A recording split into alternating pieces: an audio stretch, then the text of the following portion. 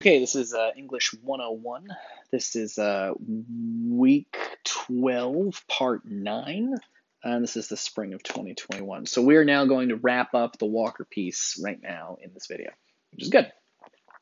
Um, so Walker only has one more paragraph, so let's take a look at it and, and, and see what we can do with it. So this is, this is the end of it.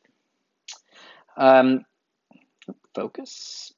Maybe if we all tried to read our fears meaning sort of pay attention to them, think about them, interpret them, understand them, figure out which ones are real rational fears we should have and which ones are stupid fears we should ignore. Maybe if we all tried to read our fears, we too would be less often swayed by the most salacious among them. Salacious means like um, uh, it's it, those are the gross ones. Those are like the the the, the ones that are exciting.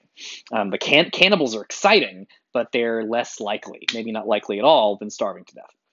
So maybe we'd spend less time worrying about serial killers and plane crashes and more time concerned with the subtler and lower disasters we face the silent buildup of plaque in our arteries, the gradual changes to our climate. Just as the most nuanced stories in literature are often the richest, so too might our subtlest fear be the truest. Read in the right way, our fears are an amazing gift of the imagination, a kind of everyday clairvoyance, that's seeing into the future a way of glimpsing what might be the future when there's still time to influence how that future will play out. Properly read, our fears can offer us something as precious as our favorite works of literature a little wisdom, a bit of insight, and a version of that most elusive thing, the truth. And that is the end of it. We did it. So, a couple of things. Um, so her, her point is, and I think she makes she has some really good examples here in the end that we often fear things like serial killers. Serial killers is a great example, actually. I really like that example at first. Um, we often fear things like plane crashes and serial killers.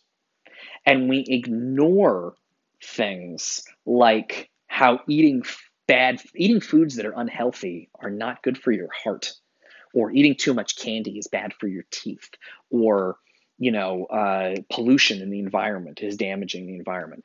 Um, because serial killers and plane crashes are exciting and like they're, they're the kinds of things you'd want to see a movie about. You know, they're they're like exciting and they grab your imagination. They're like terrifying and upsetting and creepy and weird and you know. But the thing about it is that, and and and learning about healthy eating is fucking boring. It's really boring. Um, and that that that kind of you know staying away from sugar because it's bad for your teeth or trying not to pollute because it'll damage the environment those are much less exciting than plane crashes and serial killers. I mean just for starters i would definitely watch a movie about plane crashes and i would definitely watch a movie about serial killers but i would probably not watch a movie about how to eat healthier and i would probably not watch a movie about you know how pollution is damaging our environment right? But the thing is just because i would watch a movie about it doesn't mean that that's the thing I should be scared of. Because the thing is, is serial killers are fucking terrifying. They're also really rare. um, it's just not like it just doesn't happen that often. Um, uh, it's it's very very scary, but it's not something you're likely to bump into. Serial killers are they're they're not rare at all on television, there's tons of TV shows about serial killers and podcasts about serial killers and movies about serial killers. They're very, very rare. Um, whereas people dying of heart attacks is extremely common. Um, so you should probably be more worried about your heart attacks and eating healthy than you should about um, serial killers. I'll give you a better example. Let's. I, I got an example for you. Ah, I do. I mean, I'm ready for this. So, a lot of people in America love guns um, and they want the guns because I got I got I need a gun so I can protect my family. Um, and and they want to do that because they in their imagination, in their fearful imagination, they're picturing a situation in which enemies home invaders break into their house in the middle of the night and smash all the windows and climb through and the invaders have guns and they take your family hostage and that if you had a gun you could fight them off so people are like i'm a man and i'm going to get a bunch of guns keep my family safe. What most people don't like to think about is that if you would like to keep your family if you're a man and you have a wife and a child and all you want to keep your family safe The way to keep your family safe is not by buying a gun. Actually, buying a gun puts your family in danger because it makes it more likely that your kid is going to go find that gun and shoot himself or your wife or you or a friend with that gun, right? Um, I mean, again, you can lock it up and keep the bullets separate from the thing, but like if you're not, you know, you got to secure your gun so little kids can't get it. But a lot of people don't do that. But they say, I got to have a gun so I can protect my family. Here's the fucked up thing that I will tell those people. If you really care about protecting your family, if you're a dad and you're like, I got to protect my family, I got some advice for you. I read this off the internet, by the way. I'm not making this up. Um, if I don't, but I don't remember where I where, I where I read it, so I can't give you a citation on it. But if you're a man who's like, I gotta protect my family, don't buy a gun. Because home invasion, while very scary, is not very likely. So if you are a dad and all you want to do is protect your family, here's what you're gonna do. Go fucking grocery shopping. You know what'll protect your family? Healthy food. Go grocery shopping all the time and buy lots of healthy food. Your wife and child need vegetables. They need to eat healthy stuff. Don't don't don't get sugar cereals.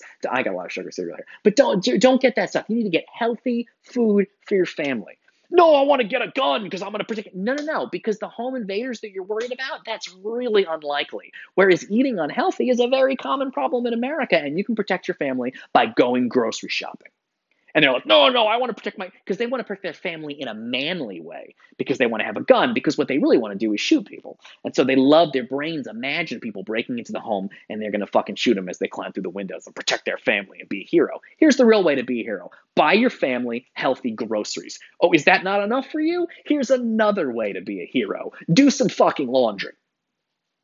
Oh, that's woman's work. You don't want to do that. If you want to keep your family healthy, do laundry. Little kids, they pee and poop in their pants. And that is not healthy to have that bacteria around the house. It's not good to have it in a diaper. It's not good to have kids get pee and poop everywhere. And they wipe their snotty noses on everything. Um, cl- clean the house and do laundry. That'll keep your family safe. You can use Lysol wipes to keep bacteria off of the sink. And you can, you know, vacuum and mop and wipe down surfaces and clean things and do laundry. You get good laundry detergent and get all the bacteria off of their clothes. And make sure you teach your kids to wash their hands.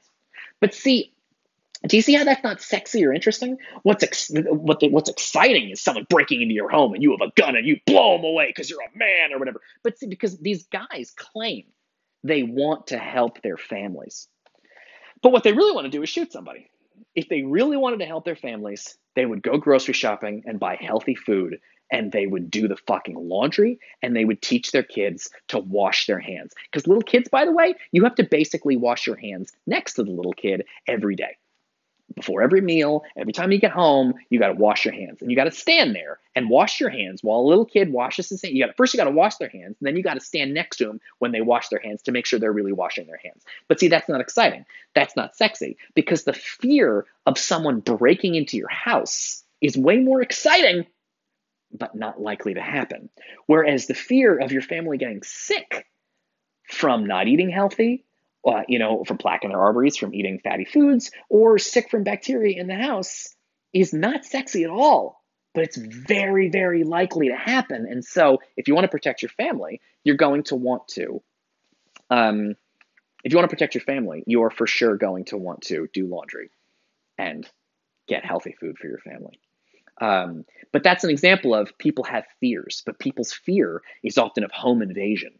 See, but that's not likely to happen. I guess you could prepare for that if you want to, but if you really care about protecting your family, you got to kind of think about your fear a little bit and be like, actually, you know what's more scary than a home invasion? Having a family that has plaque buildup, that, that's eating unhealthy, and their teeth are bad, and their heart is bad from bad food, and they have bacteria on them on the sink and in their clothing because of laundry. And, you know, so do groceries, go do grocery shopping and clean your home to keep everybody safe. It's not sexy, but like that's a lesson you can learn uh, from thinking about fear.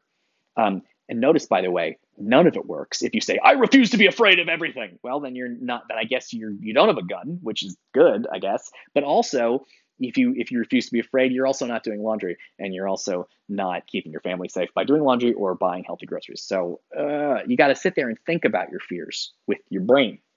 Even though it's going to come up with scary things and you got to figure out which ones are worth paying attention to and which ones are not. Just like if you're reading a story, you might get very excited about the story, but then you got to stop and think about the story and decide what you want to learn from it. Okay, I'll see you guys in, I think, the next video. If I guess I'll do another one. I don't know. Maybe this is the end of it.